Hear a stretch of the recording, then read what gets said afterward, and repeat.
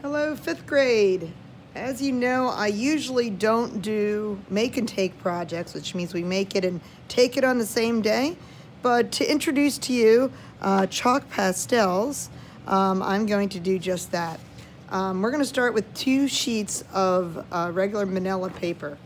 Um, and we're going to actually take one and hold it the uh, long ways. And we are going to rip it to make a landscape. We're going to rip one paper and it's going to create some different diagonals and whatever shape it ends up in is great. Um, you just kind of pull it in the direction you want it to go in. Um, actually rips really well and I've made like a little mountainscape. Now you can use that one or that one and if you do it really well and someone next to you is struggling, you can actually give them the other half. Um, we're gonna make a layered mountainscape, uh, kind of like we're gonna do with our pro our actual city project, which we are going to be starting uh, next week.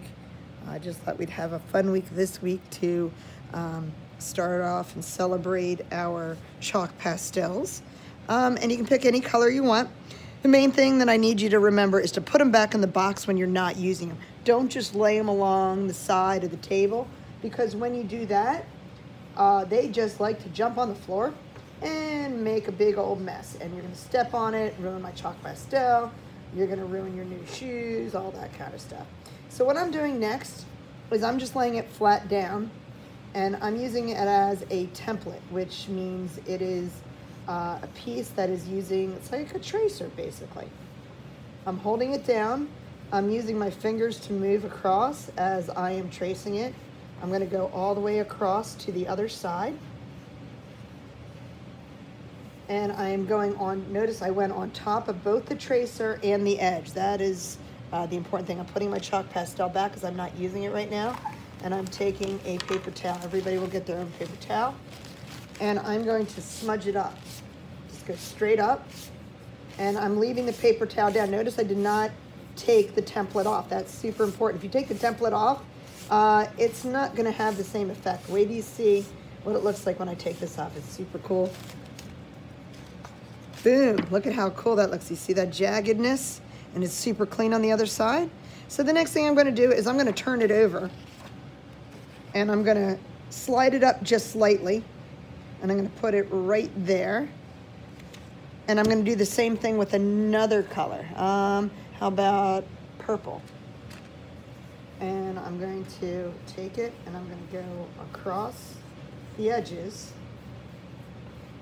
And you can pick any, oh, it, sorry. Um, I'm going to go across the edges.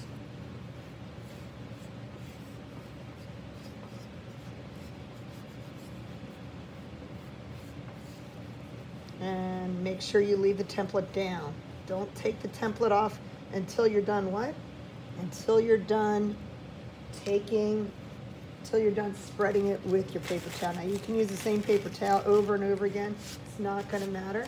And I'm just gonna blend it straight up. It's gonna kind of look like the Northern Lights, or it's gonna actually look like a, a faded uh, mountainscape as it goes back into space. We're making mountainscapes today, but when we actually do this project, we're gonna do this like a cityscape. But I want you to see the effect that it's gonna have. Look at how cool that looks.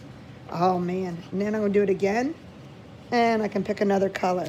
So whatever colors you want to pick, uh, maybe I'll pick a turquoise blue this time. And it doesn't matter what color scheme you pick, uh, you really can't go wrong. Um, uh, try to pick colors next to each other on the color wheel. That will make for a nice analogous blending, kind of like how we learned about in uh, with our Scream uh, picture when the analogous colors for the sky and everything else. And you do want to kind of press hard. You don't want to just do a nice light line and you do want to cover both. All right, and I'll do this last one and you can do as many as you want. I'm doing three and that's it. You can do as many as you have room for or can make room for. And I want you to enjoy the process and have fun today. It's Friday. Well, actually, it's not Friday for everybody, but it's Friday for some of us. Boom, and there you go. So you're going to be able to take this with you today. I'm not going to keep these. I'm not going to collect these. Um, so I want you to have fun and enjoy.